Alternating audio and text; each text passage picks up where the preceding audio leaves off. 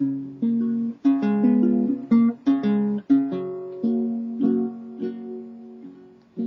you ever go drifting down the river of memories to a little log cabin nestled among the sycamore trees where the sunshine is cheery and nothing in the world is dreary? In my cabin at the end of my river of memories. There's a sweetheart that's waiting down the river of memories with a smile and a welcome that could always put my heart at ease.